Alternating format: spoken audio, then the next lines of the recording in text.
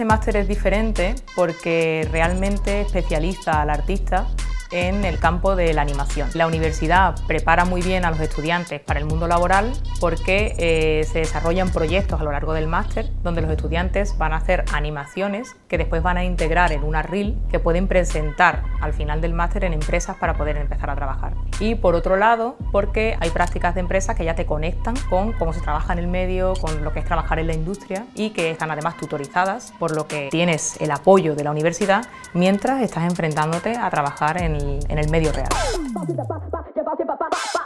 Al terminar este máster pueden ser animadores, también pueden desarrollar los roles de UFX Artist, de Layout Artist, de Rigger y de Motion Graphic Artist también.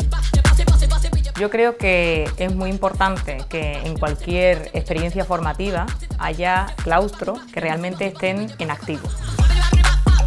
En el máster se va a procurar trabajar en todas las aplicaciones que actualmente se están demandando y se están eh, usando en la industria de la animación. También se va a investigar y se van a usar la inteligencia artificial y la realidad virtual. Se van a realizar eventos eh, y charlas dentro de la propia universidad para acercar entidades de la industria cultural y profesionales que den charlas y que los estudiantes pueden conectar con gente que, que está trabajando en el medio.